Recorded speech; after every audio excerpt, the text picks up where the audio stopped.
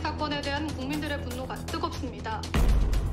유력한 살인 용의자를 검거하고도 의도적으로 기소를 하지 않고 있다는 의혹까지 제기되고 있는데요. 모르는 척 넘어가 주니까 이 새끼들이 자꾸 손을 넘네.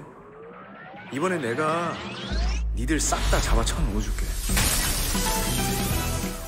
어떻게 너 같은 놈이 검사가 됐지? 운명이 찾아오더라고요. 나쁜 놈들 싸그리 다 응징해버리는 진짜 검사라는 운명이.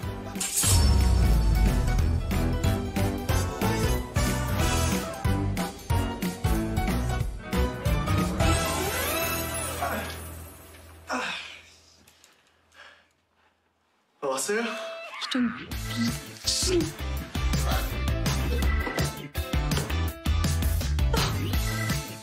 대체 뭐하는 새끼야! 나?